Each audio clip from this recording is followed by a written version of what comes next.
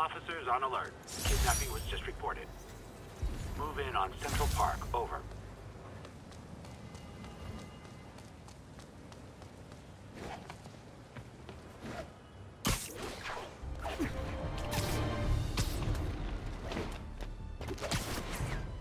I'll tune my earpiece to listen for sounds of someone struggling.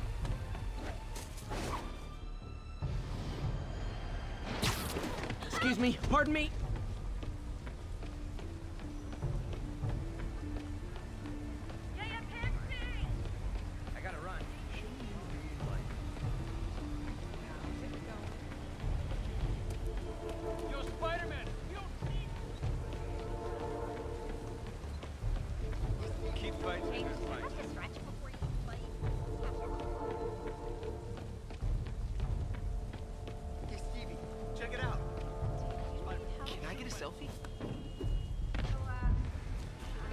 Could you, like, uh, do something? Keep up the good work. Spider-Man.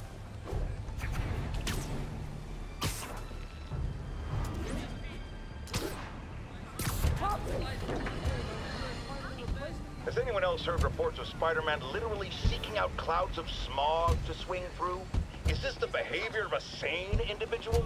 I'll tell you what I think is going on here. When I was a lad, there was a problem with juvenile delinquents sniffing glue to get high. Knowing Spider-Man's weak moral character and thrill-seeking personality, I'd guess the same principle is at work here. But inhaling toxic substances also damages the brain, which actually explains a lot about Spider-Man. He's swinging through the city hopped up on smog.